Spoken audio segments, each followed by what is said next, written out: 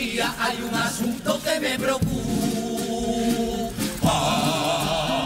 Si calcula entre Cádiz, Córdoba y Almería, habrá 300.000 fruterías, todas las papas son de salud.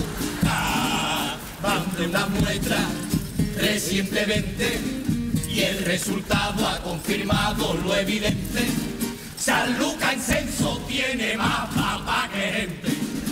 Desde el laboratorio que está cerca de Uclan, me aseguran que tienen la certeza absoluta. Que hasta el Papa Francisco no es de Argentina, es de San Luca. Este fantasma que veis, ha contado un secretito, cuéntalo, cuéntalo. Últimamente en el falla nada más que hay gente de calle. Pues que de fantasma, donde no lo hay.